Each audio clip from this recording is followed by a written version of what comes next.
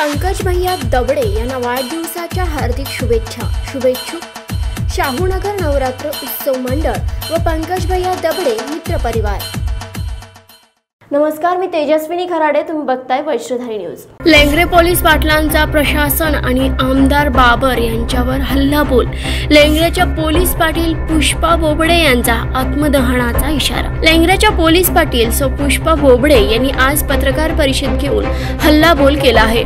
पाच दिवसापूर्वी मला चांगल्या कामाचे प्रमाणपत्र दिले आणि लगेच निलंबनाची कारवाई कशी काय केली? कोविडची गंभीर परिस्थिती असताना माझ्यावर निलंबनाची कारवाई करण्याची गडबड का केली जाते? प्रांतांनी मला दिलेल्या पत्रात करगणीच्या पोलीस पाटील लिहिलंय ज्यांना करगणी की लेंगरे हे नीट माहीत नाही. त्यांना माझ्याबद्दल असे काय कळले की त्यांनी कारवाई केली? इथल्या लोकप्रतिनिधींच्या दबावापोटी प्रकाश बागलला वाचवण्यासाठी माझ्यावर कारवाई केली जाते असा आरोप करत आमदार अनिल बाबर यांचे नाव न घेता पुष्पा बोबडे यांनी त्यांच्यावर हल्लाबोल केला आहे. तसेच मी पोलीस प्रशासनाला सहकार्य करत नाही असे पोलीस निरीक्षक रवींद्र शेळके यांचे म्हणणे आहे. होय ते खरे आहे कारण मी तोडपाणी करायला पोलिसांना सहकार्य करत नाही आणि करणारही नाही. त्यामुळेच तर माझ्या यांना राग येतोय. तुम्ही मला दाबत असाल तर मी दबणार नाही. प्रसंगी आत्मदहन करेल पण मी अन्याय खपून नेणार नाही असा खणखणीत इशारा लेंगरेच्या पोलीस पाटील पुष्पा बोबडे यांनी दिला. चला पाहूयात काय म्हणाल्या दिनांक वीस आठ दोन हजार वीस रोजी प्रांतांनी मला दोन महिन्याच्या निलंबनासाठी लेटर दिले. त्यात त्यांनी मुद्दे घातलेत. सुवर्ण पाटीलने माझ्याविषयी केलेली खोटी तक्रार. परत अंकुश प- पाटील यांनी माझ्याविषयी केलेली खोटी तक्रार याचे मी लेखी स्पष्टीकरण दिले पूर्ण पुराव्यानिशी आणि त्यांच्या निदर्शनास आणून दिलंय की त्यांनी कसं खोटं केलंय. त्यांनी दारूबंदीसाठी घेतलेले सह्या माझ्या विरोधात वापरले त्यांच्या हे शासनाच्या निदर्शनास आणून दिले त्यांनी शासनाची कशी फसवणूक केली हेच शासनाच्या निदर्शनास आणून दिले तरी सुद्धा ते दोन मुद्दे त्यांनी इथं घातले आहेत. तसंच पी आय साहेबांनी सुद्धा माझ्याविषयी अहवाल दिलाय. त्यात त्यांनी फक्त उल्लेख केलाय की मग त्याचं काही स्पष्टीकरण दिलंच नाही. त्यांनी जे जे माझ्यावर आरोप केलेत त्याचं स्पष्ट स्पष्टीकरण त्यांनी लेखी मला द्यावं असं मला वाटतं आणि मी त्यांना तसं अर्ज करून त्यांच्याकडून लेखी मागणारच आहे. तसेच तहसीलदार साहेबांनी पण काहीतरी अहवाल सादर केलाय असा एक पॉईंट इथं घातलाय निलंबनाचं पत्र देत असताना. पण त्यांनी काय अहवाल सादर केला ना की हे काय त्याच्यात उल्लेख नाही. ते सुद्धा मला काय अहवाल आहे ते सुद्धा मी त्यांच्याकडून लेखी मागवून घेणार आहे. तसंच बघा आता पंधरा ऑगस्ट दोन हजार वीस ला प्रांत साहेबांनी त्यांच्या सहीचं कोविड योद्धा म्हणून मला प्रशस्ती पत्रक दिले. आणि अचानक पाच दिवसानंतर त्यानं काय एवढं घाई झाली असावी की मला निलंबनाचं लेटर दिलंय. आणि निलंबनाचं लेटर देत असताना यात प्रत्यक्षदर्शनी इथं सरळ सरळ दिसतंय की त्यांनी लेंगरे गावाचा उल्लेख करण्याऐवजी करगणी गावाचा उल्लेख केला. इथं कसं लिहिलंय बघा सदर आदेशाची प्रत संबंधितात तात्काळ बजावून त्याचा अहवाल इकडे सादर करावा. तसेच करगणी पोलीस पाटील पदाचा अतिरिक्त कार्यभार नजीकच्या पोलीस पाटील यांना देण्यात यावा. याचा अर्थ काय? प्रांत साहेब तुम्ही मला वाटते दोन ते अडीच महिने झाले आता नवीन आलाय. तुम्हाला अजून खरंच मी लेंगरेगावची पोलीस पाटील आहे हे सुद्धा लक्षात येईना. आज तुम्ही एखाद्या पोलीस पाटलाचं निलंबनाचं लेटर देत असताना त्यात काय लिहिलंय कमीत कमी हे तरी वाचून बघा. तुम्हाला एवढी का घाई झाली माझं निलंबन करायचं? तर याच्या मागचं खरं कारण मी तुम्हाला सांगणार आहे. प्रकाश बागलला जी हायकोर्टानं इंटरिम बेल दिली आहे ती बेल रद्द कशी करता येईल याचाच अठ्ठास इथं झालेला दिसून येत आहे आणि त्याला पाठबळ कोण देत असेल तर हे स्थानिक नेते पुढारी देते ते स्पष्ट होते कारण प्रकाश बागलनं माझ्या विरोधात जे अर्ज केले एस पी ऑफिसला म्हणा किंवा जिल्हाधिकाऱ्यांना त्या अर्जामध्ये त्यांनी ज्या लोकांचा संदर्भ घेतलाय त्या लोकांनीच माझ्या विरुद्ध अर्ज किंवा खोट्या तक्रारी प्रांतांना दिलेत. हे जर सगळे डॉक्युमेंट आपण जर पाहिली तर लगेच लक्षात येईल की यांचं काहीतरी साठलोट आहे बाबा हे संगणमताने केले आज मी कशी चुकीची आहे आणि मी कशा चुकीच्या पद्धतीने काम करते हे दाखवून देण्यासाठी आणि हे दाखवून देऊन माझं निलंबन अगदी खोट्या कारणासाठी माझं निलंबन केले जेणेकरून प्रकाश बागलेची इंटरिम बेल कशी रद्द करता येईल आणि त्याला कसं निर्दोष साबित करता येईल यासाठी हा सगळा अठ्ठास आहे. आणि हे सगळं जे माझ्यावर केले ते अतिशय अन्यायकारक आणि अतिशय खोट्या पद्धतीने आहे. याची कुठंही सखोल चौकशी केली तर कुठल्याही चौकशीला समोर जायला मी तयार आहे. पण ज्या ज्या लोकांनी जे हे ह्याच्यात जे खोटे खोटे नाटे आरोप केलेले आहेत ते सगळं स्पष्टीकरण देऊन सुद्धा परत प्रांत साहेबांनी हे मुद्दे घालावेत याचा मला काही अर्थ समजला आणि मला इतकं गाफील ठेवण्यात आलं की मला प्रशस्ती पत्रक मिळतंय आणि तुम्ही ग- आणि आता मला डिपार्टमेंटकडून फोन सुद्धा येतात माझे बेटाबद्दल मला फोन करून म्हणतात की दोन महिन्याचा तर प्रश्न आहे मॅडम तुम्ही गप्प बसा तुम्हाला दोन महिन्यानंतर आम्ही टेस्ट करून घेणार आहोत. पण मी दोन दिवसाचं नियम सुद्धा सहन करणार नाही. का करू मी? कारण मी त्याच पात्र नाहीये. जे तुम्हाला खरंच वाटतंय माझं काही चुकलंय बाबा तर त्याचं स्पष्ट स्पष्टीकरण तसं त्यांनी मला द्यावं. कारण माझ्या माझ्या माझ्याच तीन तारखा झाल्या. मलाच तारखेला बोलवलं. माझ्या अपोजिट जे होते ते कधी तारखेला पोहोचले पण नाही त्यांनी काय अहवाल दिलाय किंवा त्यांनी काय लेखी स्टेटमेंट दिलंय? याचा याचा कुठं उल्लेखच नाही. आज विचार करा यांनी सह्याची मोहीम राबवतात किंवा एखाद्याने खोटी तक्रार केली. आज जर मी म्हटलं की आमदार साहेबांनी असं असं मला केलं मी खोटी तक्रार केली तर तुम्ही आमदार साहेबांच्या पदावरून उच्चाटन करणार आहात का? करू शकता का तुम्ही? त्याचे तुम्ही सतरा चौकशा लावणार. मग माझ्याच बाबतीत एवढी घाई का? आज मी सामान्य आहे. पण मी गप्प बसणार नाही आणि आतापर्यंत तेच झालंय की अन्यायाशी मी लढत आले. कुठल्याही प्रकारची यांच्या ह्याला बळी पडले नाही. आता ब- प्राणसाहेब पी आय साहेबांचं म्हणणं आहे की मी सहकार्य करत नाही कायदेशीररित्या. हा मी नाही करत. तोडपाणी करायला मी पोलिसांना कुठलंही सहकार्य करत नाही आणि करणारही नाही. त्याच्या बाबतीत बरीच प्रकरणं घेतली. माझ्यावर खोट्या बलात्काराला पाठीशी घालण्याचा आरोप ठोकला यांनी पदावर आले आल्या. तो आता ते त्यांनी जो आरोप ठोकला तो आरोपी निर्दोष सुटलेला आहे. ते प्रकरण नील आहे. आणि त्यावेळेस यांनी मला पेपर आउट केलं. लेडीज पोलीस पाटलांनी बलात्काराला पाठीशी घातलं. मला इतका मोठा कलंक लावला यांनी. आता तो कलंक कोण धुवून काढणार आहे? यांनी निषेध फेऱ्या काढल्या. मला निषेध फेरीत सामील होऊन दिलं नाही. मला अशी वागणूक दिली की जसं काही बलात्कारी मीच आहे. इतकं माझं पदावर आले आले मानसिक खच्चीकरण केलं गेलं. ते झालं राहू दे. चंदन तस्कराच्या गाड्या तीन तीन दिवस कुठल्या पोलीस पाटलांच्या दारात लावल्या जातात तो? आज मी लेडीज पोलीस पाटील आहे. मी प्रत्येक वेळेला त्यांना विनंती केल्या. प्रत्येक वेळा त्यांना सांगितलं अहो दादा माझ्या घरी माझे मिस्टर पेशंट आहेत. घरी मुलं लहान आहेत. आणि तुम्ही तेवढ्या त्या चंदन तस्करांच्या गाड्या घेऊन जावा. त्या तीन दिवसानंतर त्या चंदन तस्करांच्या गाड्या गाड्या माझ्या दारातनं गायब होतात चोरीला जातात. आणि याची तक्रार मी जेव्हा पोलीस स्टेशनला करायला जाते तेव्हा त्या चंदन तस्करी झालेल्याचा गुन्हाच इथं नोंद नसतो याचा अर्थ मी काय समजावा? हा मी मी खरंच करत नाही सहकार्य डिपार्टमेंटला ठा- छाती ठोकपणे सांगते मी नाही करत मी सहकार्य. यांना का करत नाही तर मी तोडपाणी करण्यास किंवा कुठल्याही खोट्या कारणासाठी मी सहकार्य करणार नाही आणि करतही नाही. आणि तुम्ही कुठेही जाऊन चौकशी करा तुम्ही माझं काम स्वच्छ आणि स्वच्छता आहे. आज ग्रामपंचायत सुद्धा अहवाल देते ग्राउंड रिपोर्ट देते माझ्या प्रामाणिकपणाविषयी. तो सुद्धा नाकारला जातोय. मग आता दोन महिन्यापूर्वी आलेल्या प्रांतांना मी अजून काय देऊ?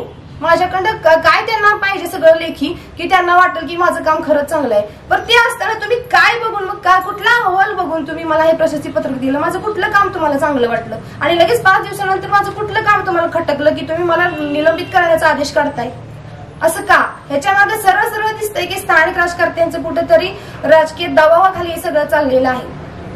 हा राजकीय दबाव कदापि सहन केला जाणार नाही. निलंबनाची भीती मला नाही. मी अगदी सामान्य कुटुंबातली स्त्री आहे. मी कष्ट करून जगू शकते. मला काही प्रॉब्लेम नाही. पण अपमान कुठल्याही प्रकारचा सहन केला जात ना जाणार नाही. आणि त्यासाठी मला रस्त्यावर उतरायला लागलं तरी उतरायची तयारी आहे. पुढे जाऊन मी इशारा देते. मी उपोषणाला बसू शकते. मी आत्मदहनाचा सुद्धा इशारा देते. मी गप्प बसणार नाही. यांनी मला दडपण्याचा प्रयत्न करू नये. यांना वाटत असेल माझ्या पाठीशी कोण नाही. पण मी एक सामान्यांचा आवाज आहे. आणि ज्यावेळेस सामान्य सगळे उठून बसतील त्यावेळेस तुम्हाला कळेल की तुम्ही काय चूक केली आहे. तुम्ही कोणा कोणा कोणावर अन्याय करताय तुम्ही? एखाद्या सामान्यावर. आज कोविडचा इतका प्रादुर्भाव असताना तुम्ही त्याकडे लक्ष द्या ना. आज आज आमच्या गावात कोविडची इतकी संख्या वाढायला लागली. गावावर भांडणं खून असल्या सगळ्या गोष्टी घडत असताना यांना तुम्हाला माझ्याकडे लक्ष द्यायची एवढी काय गरज आहे? कशासाठी माझं निलंबन हवं आहे तुम्हाला?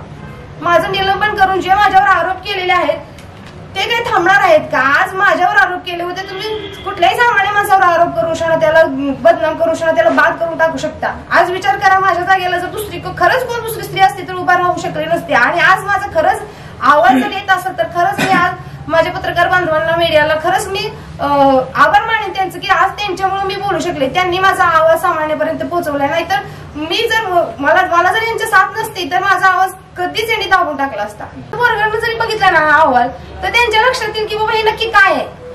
काय वाचून काय केले तुम्ही? काय पॉईंट घेतले तुम्ही? आणि अजून एक महत्वाची गोष्ट सरकार साहेबांना सुद्धा माझ्याविषयी अहवाल प्रांतांनी मागितला होता.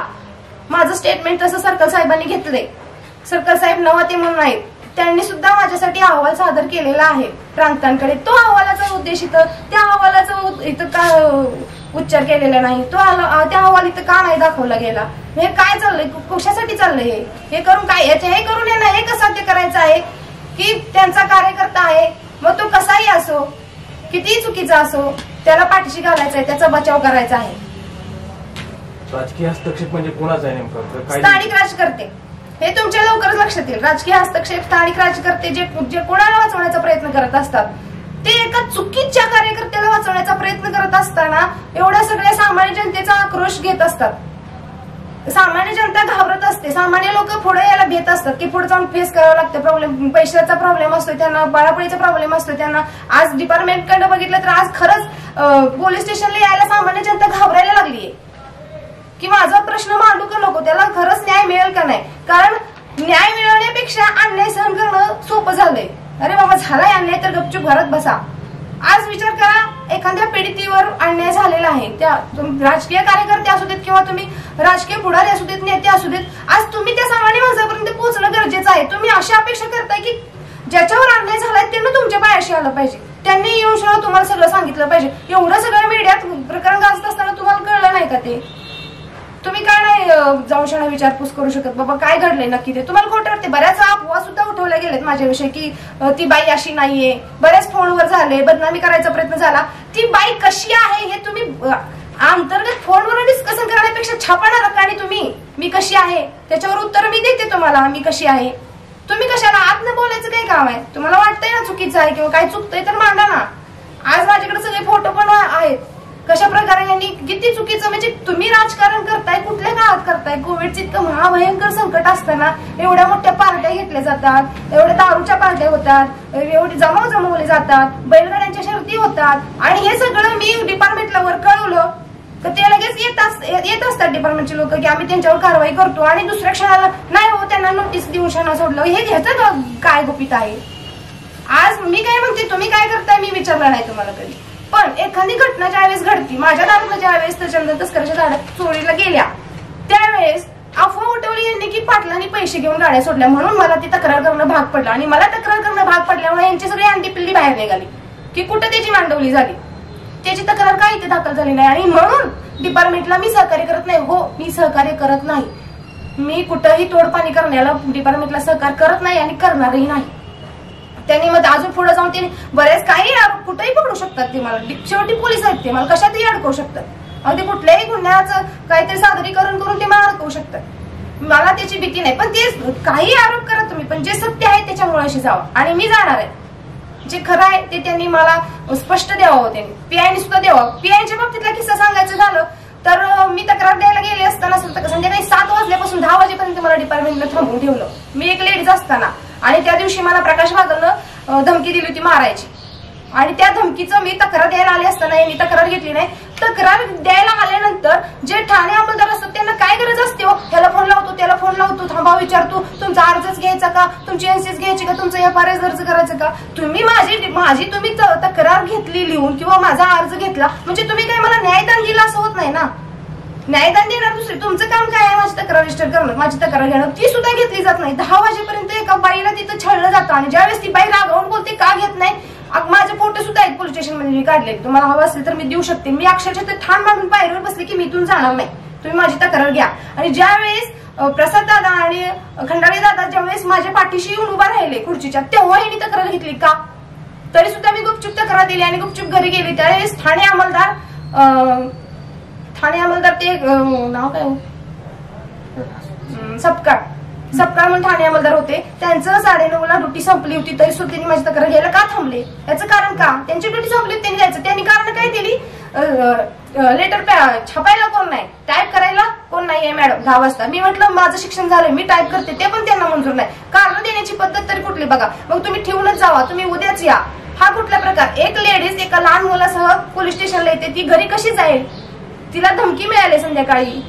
तुला- तुला उडवून टाकी तुझा हात सुद्धा दिसणार आणि असे धमके दिलेला माणूस तिथं बोबडेवाडीत हजर आहे. तो माझ्याशी काही करू शकतो रस्त्यात. रात्री दहा वाजता हे मला एकटे जाऊ देतात हे मला विचारत नाही तुमच्या बरोबर कोण आहे का? आणि माझ्या बरोबर मला काय देणं अधिकार दिलेला आहे. माझ्या बरोबर एखाद्या तक्रारदार महिलेबरोबर माझ्या माझ्या जवळची व्यक्ती माझ्या विश्वासातली व्यक्ती माझ्या बरोबर येऊ शकते.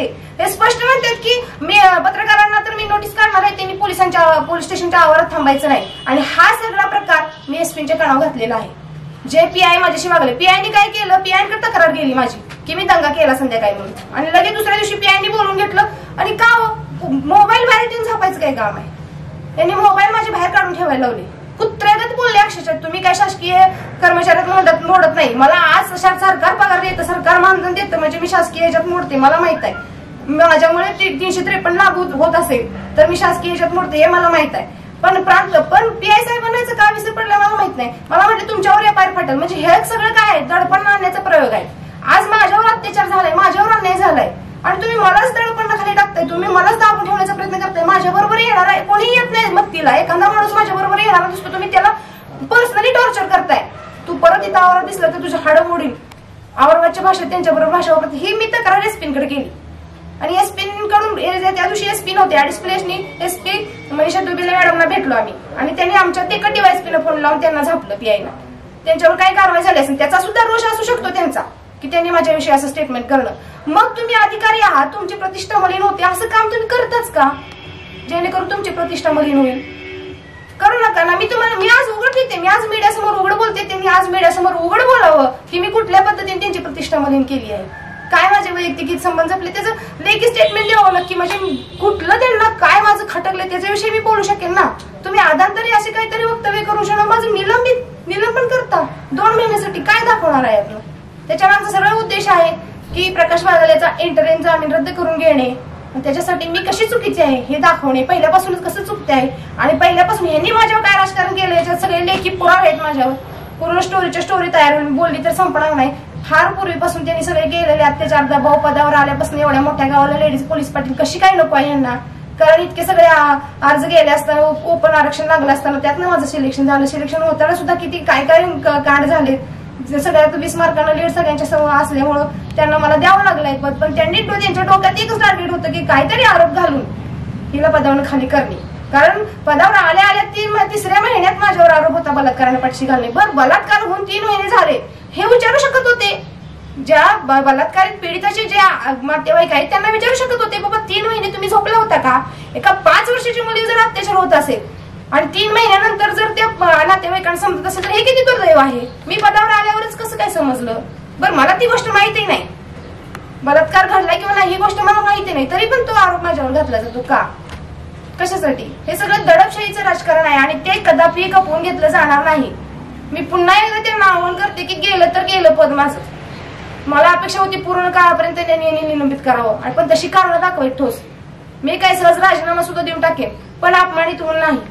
मी लढत लढत जगून मरेन. लढत लढत मरेन पण अपमानित होऊन एक दिवसही मला जगायची इच्छा नाही. त्यासाठी अगदी आत्मदान नव्हे उपोषणानंतर बसणारच आहे मी यांनी माझी माझी कारवाई नाही थांबवली तर.